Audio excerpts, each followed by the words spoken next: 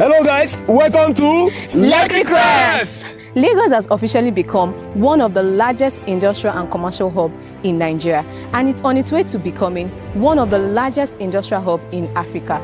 According to Wikipedia, Lagos is the largest city in Africa and one of the primary economic hub for the continent, which simply means it holds the largest population as we speak. This means there is a need for more residential and commercial activities. That's why we at Honest Global Business Investment Limited is bringing this one-time offer.